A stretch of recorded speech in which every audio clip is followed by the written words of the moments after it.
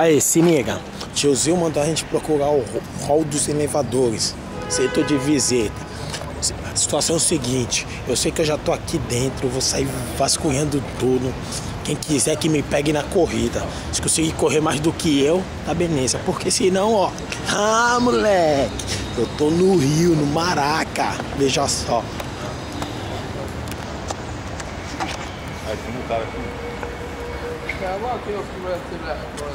A entrevista aqui com o, o americano.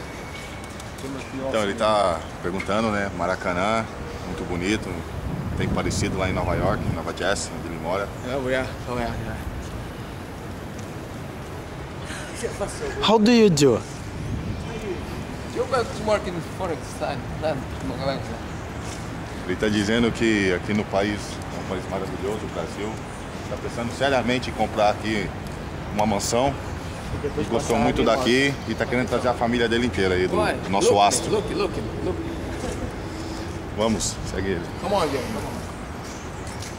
Com a mão, com a mão, com a mão. Não sei o que, que esse maluco tá dizendo, mas temos um intérprete aqui. Inventa... Right, it's all working forex nigga, won't find. O que, que ele disse?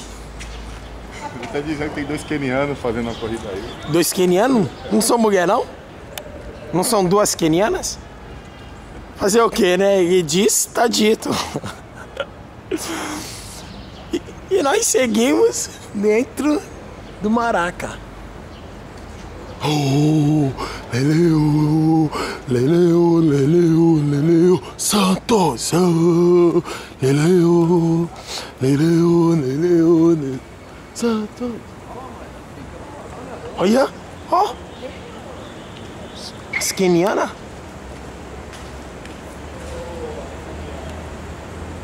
É, pelo menos isso sabem fazer.